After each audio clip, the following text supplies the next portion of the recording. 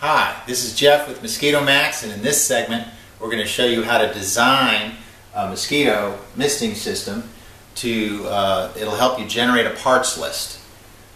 So what we've done here is we've uh, made a sketch of a home, a typical uh, backyard home. Um, it's about 60 foot across, so when you draw your map, you don't have to be exact, but you need to know uh, your distances. Because usually we space our nozzles uh, usually every 8 to 10 feet or so. So, uh, what I'm going to do, the first thing you need to do is identify uh, where your power and water is because that is where you're going to install your machine. So I'm going to draw an M there with a little circle on it and uh, that is going to be where we're going to install uh, our misting system. Um, then I'm just going to draw some X's, okay, uh, basically where uh, I'm going to have nozzles. So I'm going to just go ahead and draw here, X here, here, you know, and basically these are, you know, going to be in the 8 to 10 foot range, okay.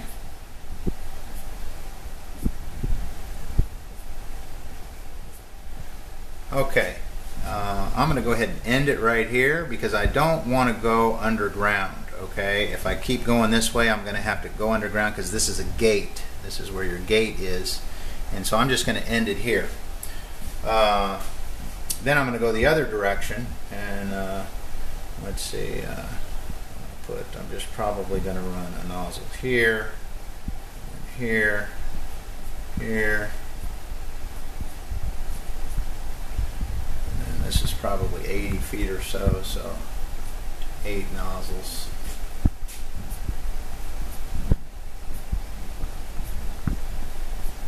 say this is 50 feet or so on your perimeter and this is also going to be an end okay? Alright now here is going to be a flower bed that's got some heavy foliage in it and uh, these nozzles are going to be so far away you're not going to get some drift or flow into this bed. So what we're going to do is we're going to put some risers in here which are fixed sprinkler head type nozzles and I'm just going to put an R and an R in here okay? And I'll explain how we get there in a minute okay first thing you're going to do is you're going to mount your equipment and uh, and then you're going to bring your your line out of your machine and you're going to come up to your eave here and you're going to install a T a union T. And uh, and that's going to allow you to go two directions. You're going to be able to go this way and you're going to be able to go this way. So uh, if we're going this way, we're gonna we're gonna put in a T nozzle, and then the line continues this way. Okay, so T nozzle, T nozzle, T nozzle, T nozzle. Same thing, same thing. Just T nozzle, T nozzle, T nozzle. Go all the way to here, and then the last nozzle in the run is going to be an elbow nozzle assembly.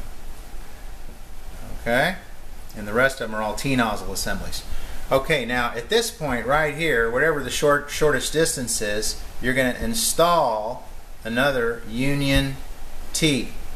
Okay, and you can do that after you've made all this run. But anyway, you, you'll cut the line, cut your tubing, and install a Union T, and then you're going to run a buried line over here through your grass or whatever into. You're going to connect it to this riser, which risers are, are ambidextrous. They have T's on the bottoms of them, uh, but they come with plugs, so you can make each riser either a, an end or a T uh, ri uh, riser. So the first one's going to be a T riser, and then of course the line is going to be buried, and then this is going to be an L end riser, okay? Because you're going to put a plug in the T, so that's where you're going to end it. All right, so uh, we finished that particular run and done your risers. Now uh, we're going to go this direction. So you've got T nozzle assembly, T nozzle assembly. Well, here's your covered patio sitting area, and of course you've got a pool area here with hard surface. You've got decorative stone here, let's say, or pool deck.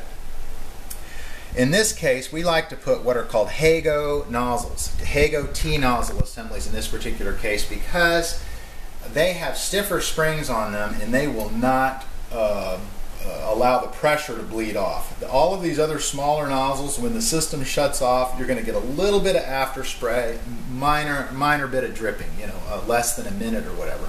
But over time, that little bit of small minuscule dripping uh, could cause staining over uh, you know decorative light colored stone or pool decks. So we usually install Hago nozzle assemblies here. So these are going to be Hago T nozzle assemblies in this area. So you're going to have one, two, three, four, five of those.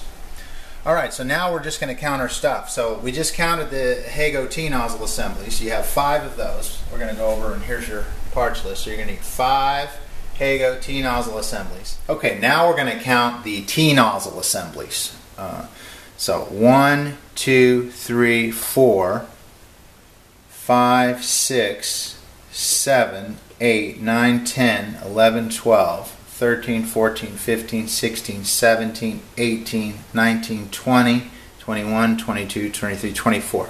So there's going to be 24 T-nozzle assemblies. And we're going to uh, count our elbow nozzle assemblies where we end the run. So there's going to be an end of the run here and an end of the run here. So that would be two. So two elbow nozzle assemblies. Um, riser nozzles. Um, we're going to end up with two kits. Okay, one of them we're going to uh, use as a T nozzle, a T riser assembly, and one of them we're going to put a plug in and use that as an elbow riser assembly. So that's two riser assemblies. Uh, union T's. Uh, this is where you make one line two. You expand a line into two. Uh, and uh, so you're going to need one here uh, at this juncture to go this way and this way and you're going to need one here. Uh, so you can continue this run this way, make a new line over here. So you need two union T's. You're going to need one roll of tubing. It's a 500 foot reel.